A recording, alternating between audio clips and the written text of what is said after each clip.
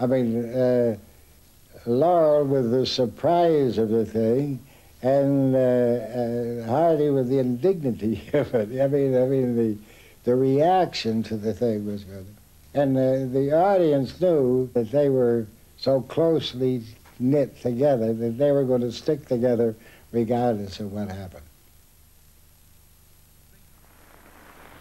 Ladies and gentlemen, this is Oliver Hardy speaking. I'm taking this opportunity of thanking you and the countless friends in the British Isles for the wonderfully wholehearted reception you have given me on my first visit to your beautiful country. Ollie, stop wiggling your tie. What do you mean, stop wiggling my tie? Well, every time you get fancy, you start wiggling your tie, and it looks silly. If you interrupt me again, I'll wiggle you. They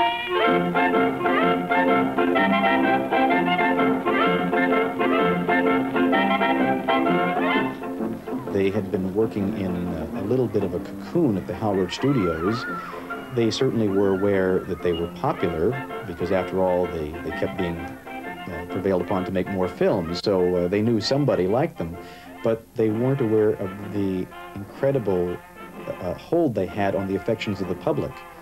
And they came face to face with that for the first time in the summer of 1932 when they visited England.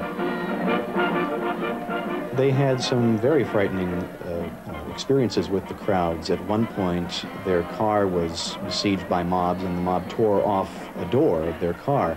Uh, Babe was almost trampled by one of the crowds. Uh, so there were some very, very frightening moments because of the adulation of all these people. And no one was more surprised by all of this than Laurel and Hardy.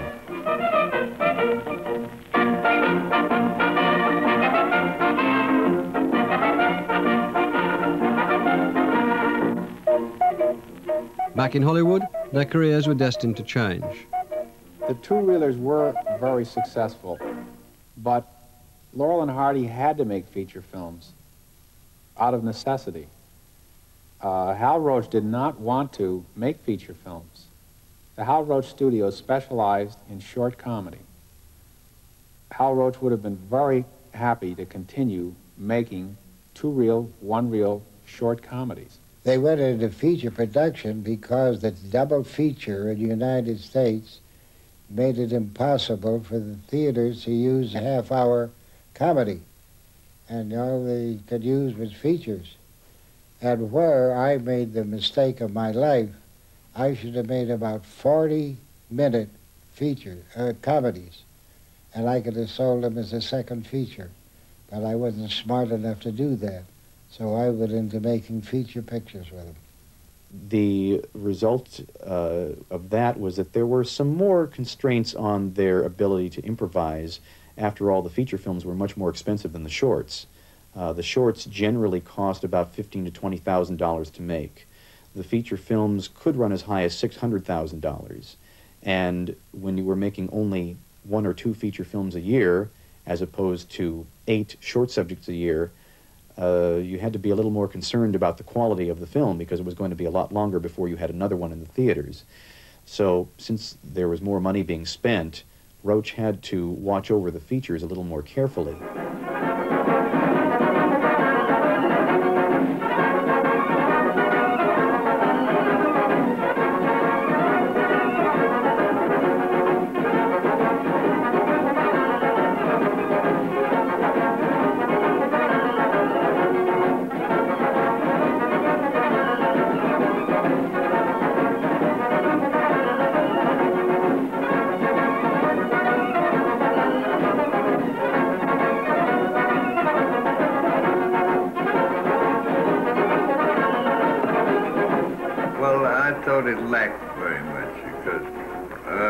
Roach, Hal Roach and I, we differed a great deal on, story ideas and, uh, gags and what have you. And uh, we didn't get too long, along too well on that picture. We disagreed very much.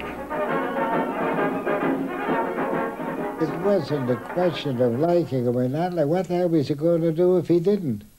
We couldn't make two reelers because we couldn't sell them. So, I mean, there, it wasn't, a, I didn't want to make features. Nobody wanted to make, I mean, make those kind of features. But uh, we there to make features and do nothing. in the feature films, rather than having one story as you would have with the short subjects, you have uh, a musical number, a bit with the uh, romantic leads, and then Laurel and Hardy doing a routine for five minutes, and then the cycle repeats itself. And as a result, I think that audiences today are a little bit less satisfied with the feature films than they are with the short subjects because the short subjects are pure Laurel and Hardy, and in many of the feature films, uh, it tends to be a little bit diluted by the, the addition of the other elements. Now, when I fill this with wine, I'll hand it to you. Then you pour it in there.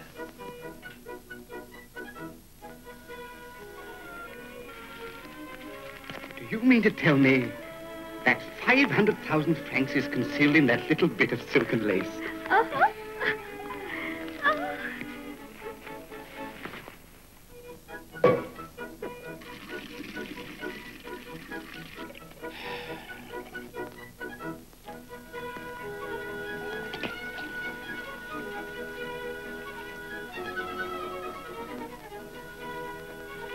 I'm sure that, that Stan knew, as Roach did, you just couldn't sustain pure Laurel and Hardy comedy for an hour and a half.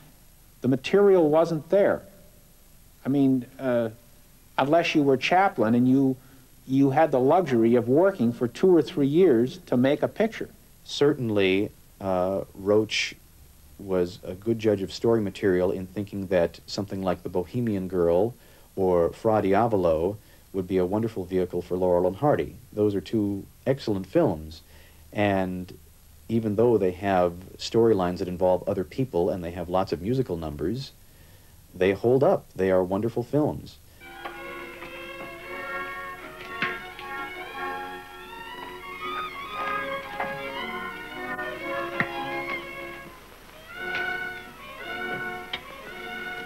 Let me look at you.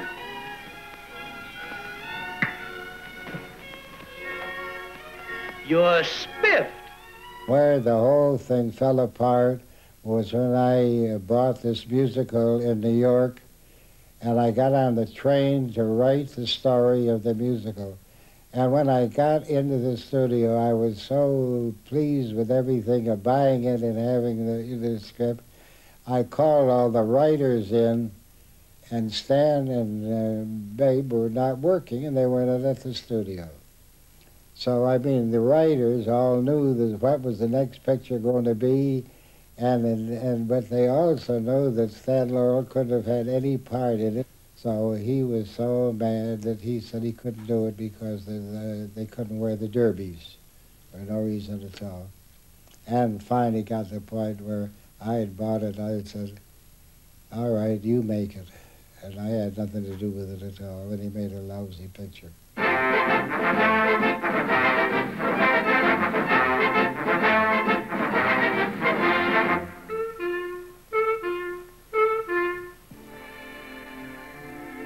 I think that was the first time that um, I felt my father had really attained